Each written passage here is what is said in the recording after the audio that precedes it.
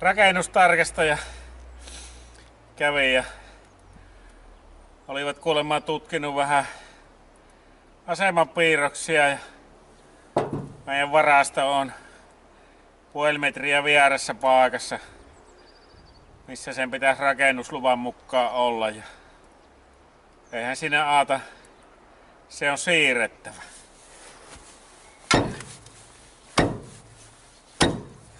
Ajattelin, että jos kokeilis vaikka raatakangilla käänteisi sitä vähän. Onhan se voima eessä nöyryttävä varaston.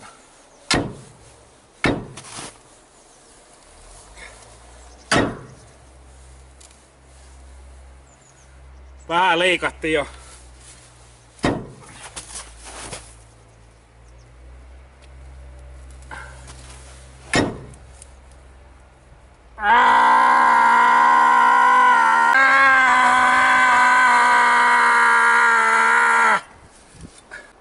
Perkele. Raatakangit kestä ennen tänä päivänä. Kaikenlaisia paskoja sitä myyvää.